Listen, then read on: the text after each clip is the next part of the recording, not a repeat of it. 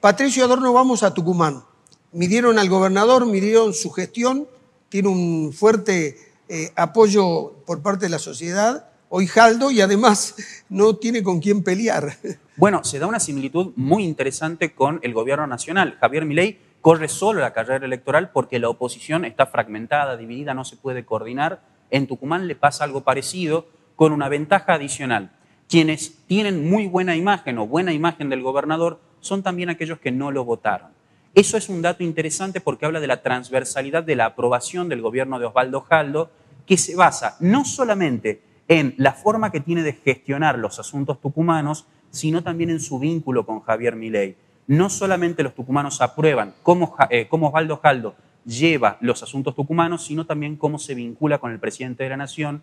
Y por eso, porque había una correlación extraña y porque nos interesaba particularmente esta transversalidad en la imagen del gobernador, un gobernador que es uno de los dirigentes en la provincia con mejor aceptación por parte de la ciudadanía, es que le preguntamos a los tucumanos si hubiera un escenario de conflicto entre Jaldo y Milei, ¿a quién apoyarían?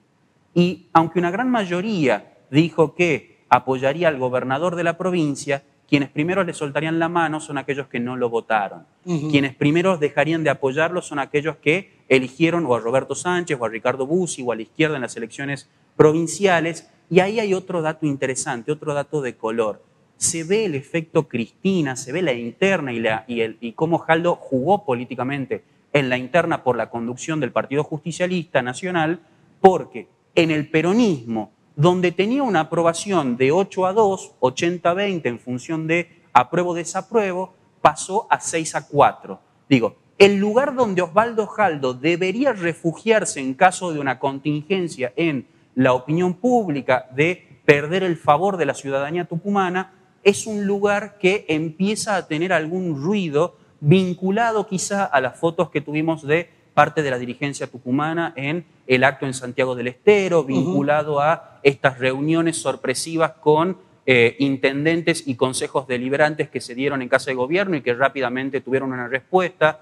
Me parece que tiene mucho que ver con eso y es quizá la primera señal de alarma que vemos en un gobernador que está en la cresta de la ola, en un gobernador que lleva bastante bien la gestión de la provincia de Tucumán, por lo menos para los propios tucumanos, y en un momento en el que además los problemas locales están en un segundo plano porque mantenemos una sincronía de las agendas nacionales y provinciales. Bueno, quiero ir a eso porque vi la encuesta de usted, pero antes decime, eh, ¿qué costo cree que va a pagar con esto de los alimentos? Porque pueden ocurrir dos cosas, que todo el costo sea para el ministro y diga no veo las horas que haya un cambio en desarrollo social o también lo paga el costo el gobernador. Bueno, es una pregunta muy interesante que depende quizá de dónde se corte la cadena de responsabilidades a la hora de atribuir las culpas de estas toneladas de alimentos que fueron encontradas en el domicilio de un particular que en principio deberían haber ido a comedores o a eh, vínculos social, a responsabilidad social.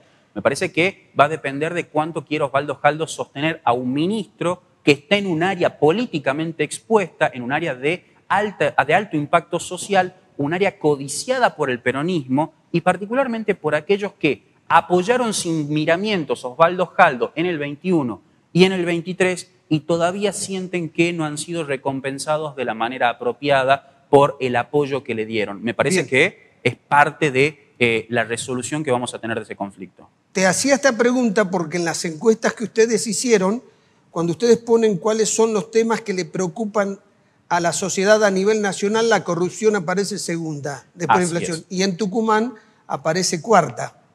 Bueno, este es un tema que está relacionado con lo que es la corrupción para la gente. Totalmente. En el plano nacional aparece así. En el mes anterior, nosotros estamos hablando de los números de octubre. En septiembre la corrupción aparecía tercera y se mantenían primeros no solamente el desempleo, sino también la pobreza, que en definitiva son tres áreas íntimamente vinculadas a este problema eh, de coyuntural que estamos analizando, porque es el Ministerio de Desarrollo Social una causa que puede llegar a tener algún ribete de corrupción y el trabajo sobre las dos áreas que con la caída de la inflación como, principal, como percepción del principal problema de los tucumanos, empiezan a ser percibidas, particularmente a nivel país, pero también en la provincia y preocupantemente en la provincia, como centrales. Cada vez se percibe que hay más pobres y cada vez se perciben que hay menos trabajo y son dos elementos que por lo menos de acuerdo a la óptica que presenta el gobierno de Javier Milei, no tienen un viso de solución en el corto plazo.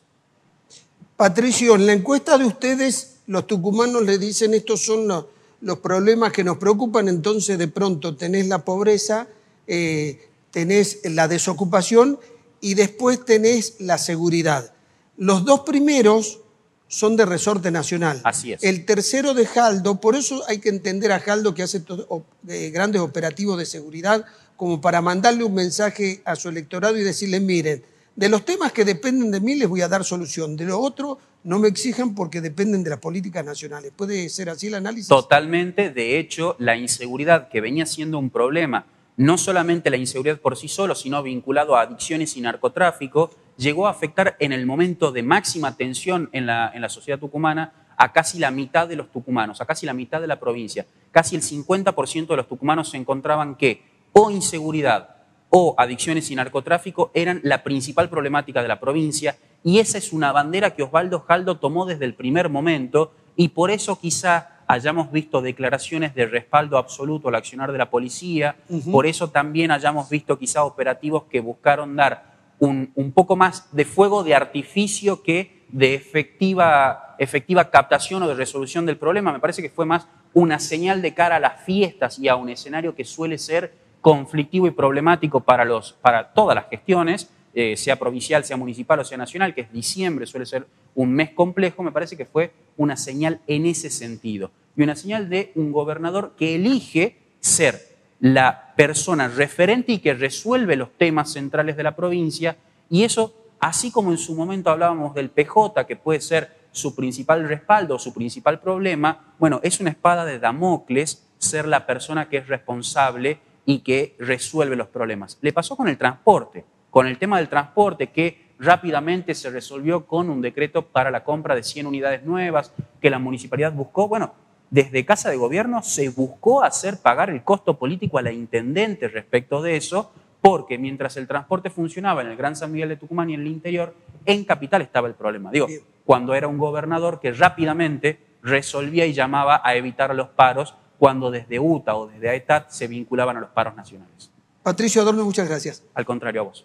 Ya volvemos.